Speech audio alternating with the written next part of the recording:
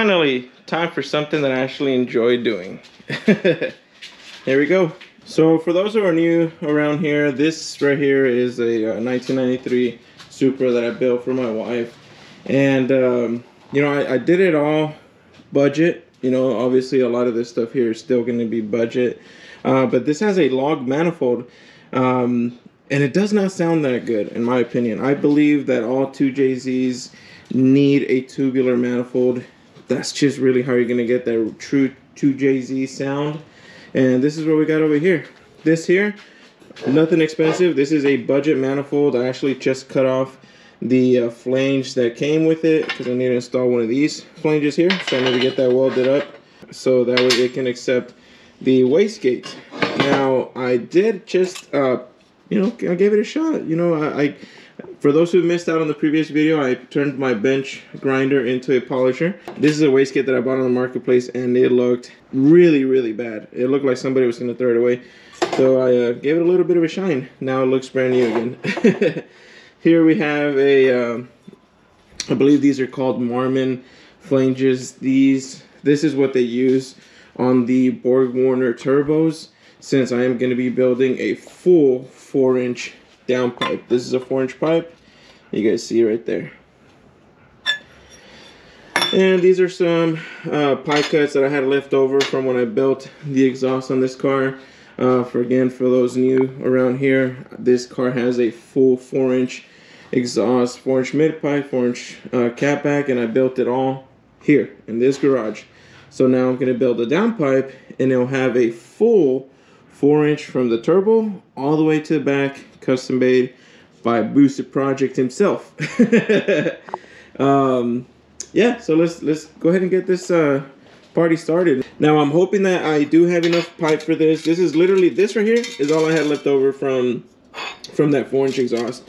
I ordered this uh, pipe here because I know from the exhaust going up, um, I'm gonna have to cut that flange that I put on there and I'm hoping that I can use this to turn the pipe up. Uh, and that reminds me, I need this too.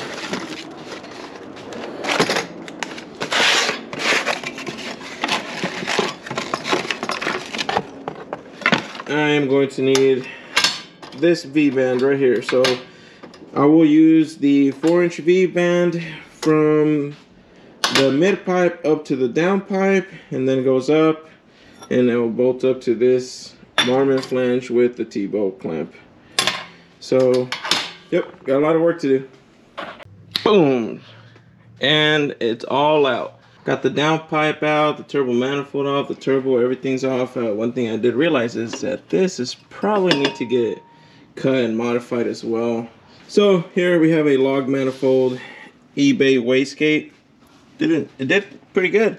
Honestly pretty impressed. Uh, that made, what, 30 pounds of boost, 700 horsepower. And I did it without any issues whatsoever. Uh, the only thing is, you know, I got a good deal on this one, so I figured I'd go ahead and uh, you know, get it upgraded to an actual Tial wastegate. So let's see here if I can do it one hand. It's not that heavy, so should be pretty easy. Line that bolt up over there, and there we go. All right. Yeah, definitely gonna need to modify this. Big time, holy crap. All right, dump tube is out we can go ahead and get rid of this. Anybody wants it, y'all make sure and send me a message through Instagram.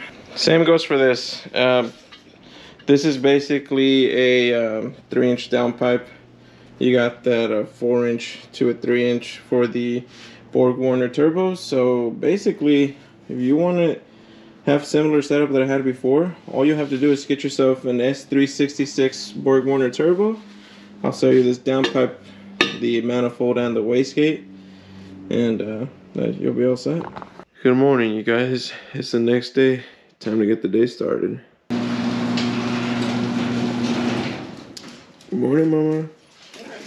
What's up fat boy? What's going on old man? How you doing? Alright guys, so uh, I mean it, it goes to say that whenever you're working with cheap parts, you know, things really never go as planned and you should have never expected to. You get what you pay for. And that's one of the things that, I mean, I was expecting it with this one, so I'm not surprised. Um, so as I told you guys before, that is a cheap manifold, right? It's one of those eBay manifolds.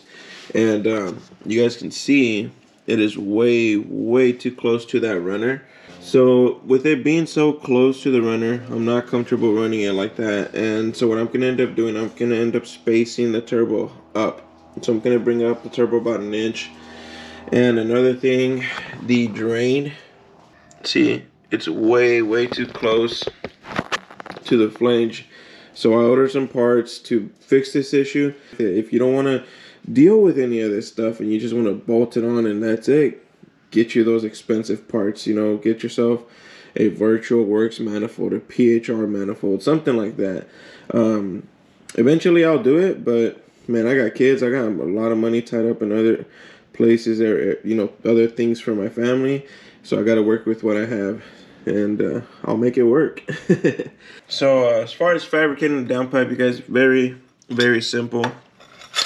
First, you want to start off with your either V-band flange or Marmon flange, in this case for the Borg Warner. And uh, basically, from here, you got to start using pie cuts. Um, give yourself an idea of how you're going to route this. Obviously, we, we want to go down, but we can't go straight down since the turbo runner's right here. So what we want to do is go down, but at an angle this way. Here, like towards the passenger side. So thankfully with pie cuts you can do that. You can maneuver it whichever which way you need to go. Something like this kind of brings me out a little bit. So I'm gonna definitely need to make some more pie cuts. Two or three more. That way I can put it at a straight. And then I'll probably need another two, maybe three at the bottom. So I'm gonna make six more just to be safe and uh, play around with that. Now, if you make them properly, five of these, these are nine degree pie cuts, nine on each side. Uh, so if you put five of them together, it should give you 90 degrees. And there is your 90 degrees. There it is. I ended up using uh, one, two, three, four, five pie cuts. Uh, let me show you guys. See, you see, you guys see the curve? How it goes out and then down. I'm honestly very, very happy. I did not struggle with this at all. But there it is.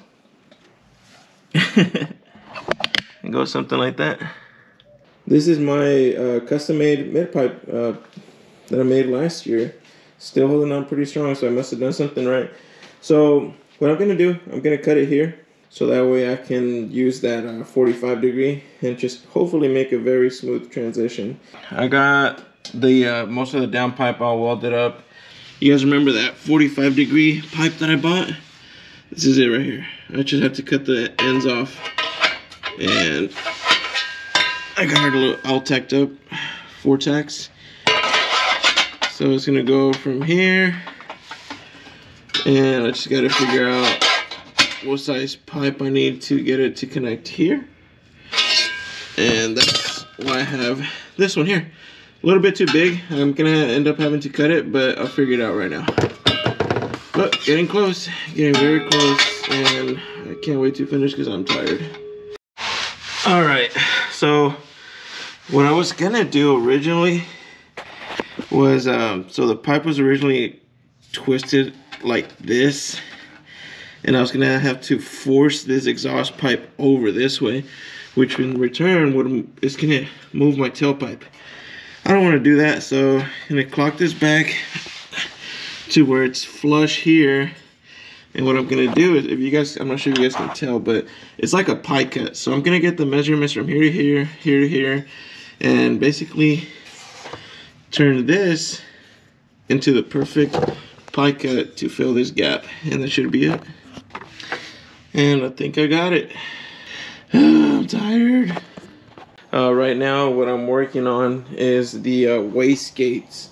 Unfortunately, this is like the newer style and this one has two springs in here that equals 13 psi but these have like little ribs inside of it and um, basically it locks the little wastegate in there this one only has two spots for like a medium and then like a large size So the big spring from over here fits perfectly fine.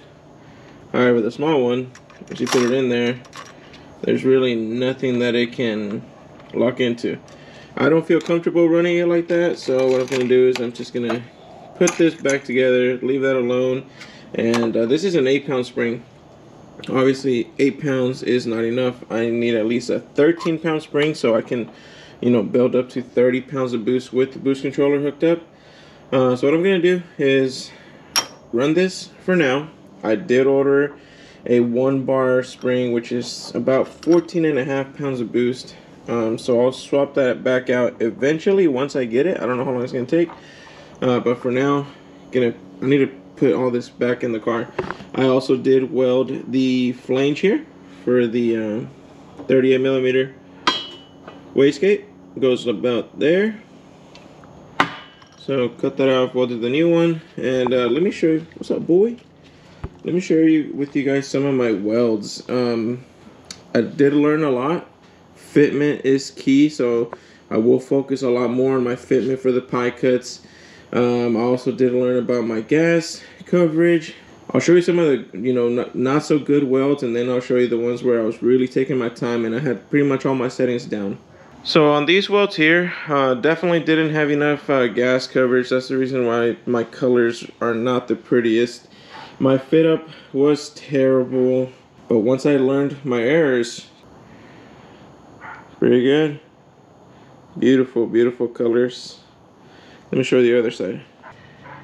Definitely getting better. Definitely getting a lot better. Here within the next couple of days, it's gonna go to under 10 degrees. It should be in the single digits. Wind chill is like negative six degrees or some shit like that.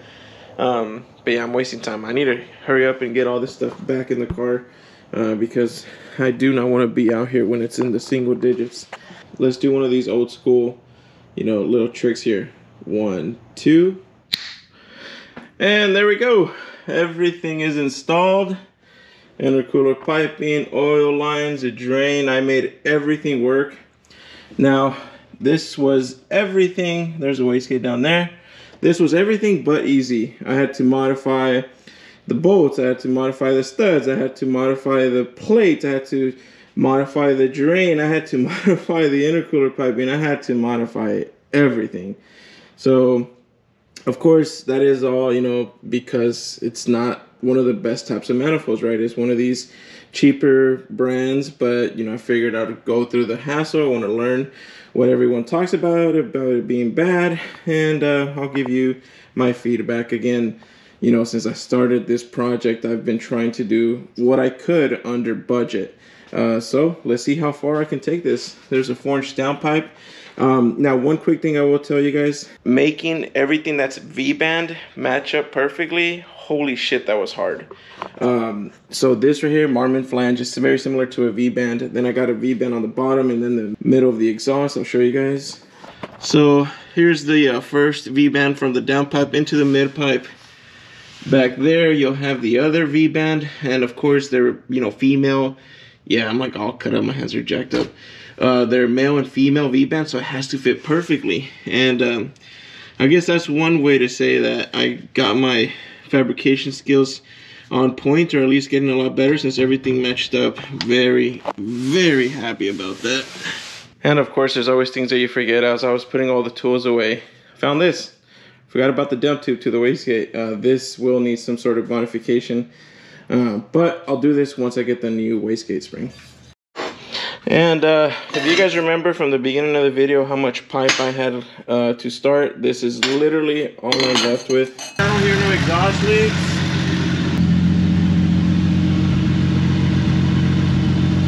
think I'm solid. I don't hear no exhaust leaks whatsoever. Today on my lunch break, I was, you know, I work from home most of the time. On my lunch break, I came out here to try to get this done because I wanted to finish it before this freeze comes in. I don't want to be out here at, you know, 5, 10 degrees and uh, thank God I got it done. All right, guys, I'm gonna give it a few revs and then I'm gonna let y'all go.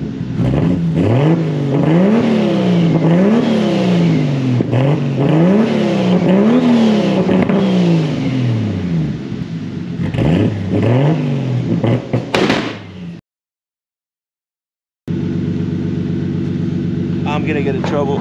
Oh shit.